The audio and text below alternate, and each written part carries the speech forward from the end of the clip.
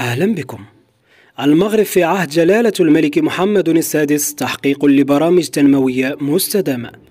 عرف المغرب منذ اعتلاء صاحب الجلالة العرش العلوي المجيد سلسلة مترابطة من الأوراش التنموية المستدامة. شملت مختلف المجالات والقطاعات بالدولة كما شكلت هندسة اجتماعية تضامنية شاملة الرؤى تتوخى في جوهرها جعل المواطن ضمن الأولوية الكبرى في مسلسل الإصلاح الشامل. والهدف الأساسي للنهوض بالعنصر البشري ببلادنا حيث اعتمدت أحدث النظم والأساليب التدبيرية وذلك من خلال وضع أهداف واضحة تتسم بالانسجام والفعالية الناجعة الملائمة مع القدرة على التأثير وتحديد دقيق للمؤشرات كل ذلك وفق آليات الحكمة المجالية المبادرة التنموية التي قادها جلالته للنهوض بالعنصر البشري مكنت بشكل فعال من وضع هندسة متفردة وشاملة الجوانب للبرامج الاجتماعية بالمملكة.